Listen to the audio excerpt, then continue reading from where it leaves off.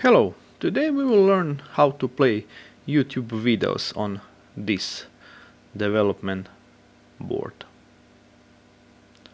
No, we will not. this is not real YouTube player and this is not real video. Animation is better word for this. This is simple sketch. Every 50 50 milliseconds a new image is shown here. Every seconds we have 20 different images so 20 frames per second. And there is only 95 images. So my whole video is around 5 seconds long. Uh, very often I uh, get requests to make a video player or to make YouTube player using ESP32 for now I'm not sure if that is even possible. If you know how to make video player, please leave a comment. In this video I wanted to talk a little about memory.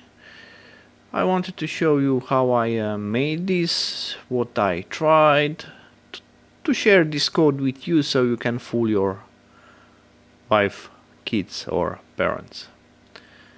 In this case, images are stored in built-in memory of this T-Display S3 board.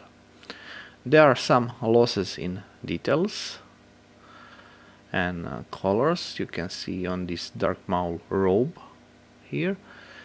Uh, losses are a result of conversion. It is not easy to convert full HD video to 180 by by 8080 video yes resolution of this animation is 188 by 88 so with images small like that I was able to show only 5 seconds of video. Memory is always problem if you want to store large amount of pictures or images uh, this display uses RGB 565 system and for each pixel we need 2 bytes. Keep in mind that libraries in this case TFT_eSPI also need space in memory.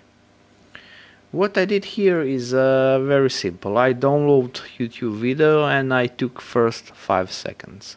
Then I converted it to smaller resolution then I converted it to GIF, then I split GIF to frames, each frame was single JPEG file, then I used my own software to convert JPEGs in format TFT_eSPI library needs.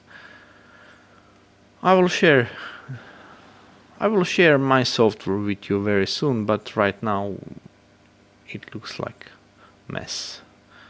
This is a second version of this software. So here is the results. Less than 6 seconds of low resolution video. So how to display longer videos? Can we use external memory? This is for example M5 Stack Core 2. This development board has built-in memory card slot so I tried to save large amount of images on my SD card and show them, but it was too slow.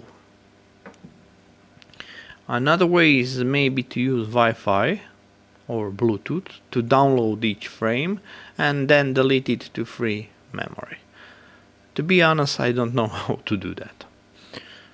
So for now my conclusion is that microcontrollers are still not fast enough for showing videos. Maybe I'm wrong, I'm not sure. But the video also has a sound, which is another problem. Microprocessor boards like Raspberry Pi are much better solution for this task. I think we will need to wait a bit more. Maybe one day development board like this will be able to show YouTube videos directly from YouTube server. Until then you can play with this sketch, code is in description. Don't forget to set 8 megabytes in Arduino IDE before uploading because this sketch is really big and it compiles very long. It is simple sketch with, with only few lines of code, but there is lots of data in these header files. I hope you learned something from this video or at least you had fun. Thank you for your time, have a nice day and goodbye.